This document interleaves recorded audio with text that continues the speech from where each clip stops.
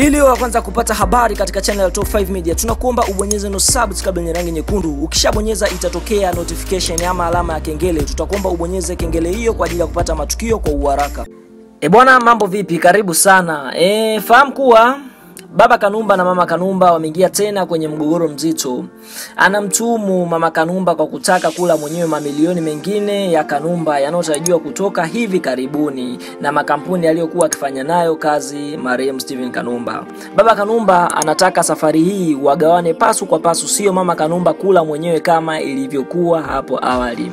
Akizungumza na Global Publisher kwa njia ya simu, Baba Kanumba alisema tayari ameshaweka pingamizi kuhusu fedha hizo, asipewe Mama Kanumba peke yake kama ilivyokuwa hapo awali, bali anataka wapewe wote kama wazazi.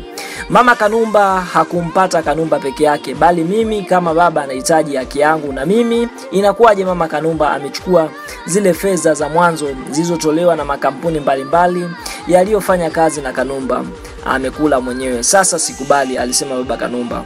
Baba Kanumba tayari ameweka pingamizi kuhusu pesa hizo, ambapo akizungumza na Amani mdogo wa Kanumba, Mjaneli Kanumba alisema fedha za Kanumba awamu ya pili zinatarajiwa kutoka hivi karibuni, ambapo kutokana na pingamizi la baba yao bado hazijatoka.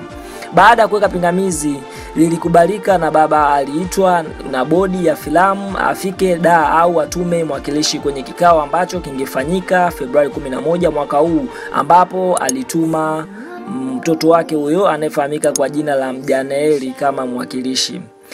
Mjakilishi Jackie naye akasema nilifika bodi ya filamu, lakini cha kushangaza nilikaambiwa kikao cha wajumbe walioshughulika suala la fedha za Kanumba walikaa jana yake wakiwa na mama Kanumba na mama huyo kukubali kuwa anampa mgao mzee Kanumba, lakini kidogo kama sadaka. Baba kusikia hivyo alikata alikaka alikataa na kushikilia kwamba lazima wagawane sawa na mama Kanumba, maana ni vitu vingi vya Kanumba ametumia mwenyewe bila kumshirikisha, alisema huyo mtoto wa e, baba Kanumba anayefahamika kwa jina la Mjanaeli.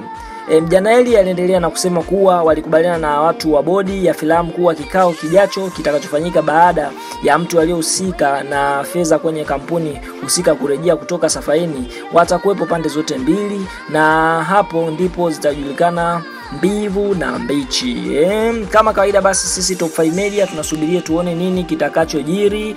E, na inasemekana kwamba ikishindikana kesi hii watu watapelekana mpaka mahakamani. Alisema hayo maneno mjana Eli. Sisi Top 5 Media hatuna la ziada. Je, wewe kama mdau unaoangalia Top 5 Media unaonaje hii ishu ya marehemu ama mtu kufa na watu wengine kubaki wanagombania mali? Wewe unaona kweli hii kitu ni sawa? Basi kama unaona sawa, dondosha komenti zako, kama uoni sawa, dondosha komenti zako hapo chini, sisi tutapita nazo. Hatuna ziada, tunasema tu bye.